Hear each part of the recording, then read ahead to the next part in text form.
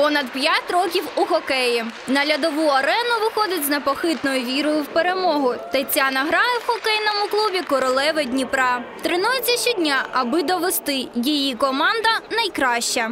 Каждый день тренируются девушки.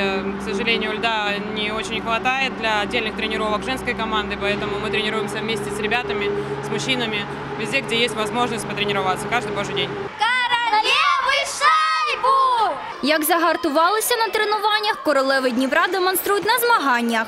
Протистоїть їм столична команда Україночка. Тренер за суперників каже лаконічно: не варто недооцінювати. Готовимся мы долго, скажем так, уже не первый год. Постоянные тренировки у девчонок. То есть маловато, конечно, два раза в неделю, но это постоянные тренировки, хорошая подготовка. Додають наснаги гравцям вболівальники. Софія та Ліза познайомилися на одному з матчів. Тепер постійні вболівальниці за королев. Ну, ми думаємо, що вони виграють. Так. Такої ж думки Аміна, Мілана та Марія. Классно, интересно, а, впечатляюще, а, энергично. Э, Я ни разу не была на играх, и мне, когда я ехала, мне было очень интересно, что будет. И э, сейчас мне прям очень интересно, что.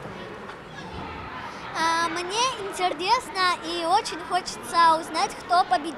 Мне кажется, Днепр Квинс. Третій тур чемпіонату України з хокею серед жінок тривав три дні. Королеви Дніпра виграли в усіх матчах з рахунками 4-3, 6-3 та 5-0. Тепер з новими силами до нових перемог. Кристина Малікова, Андрій Лата, Open News, телеканал відкритий.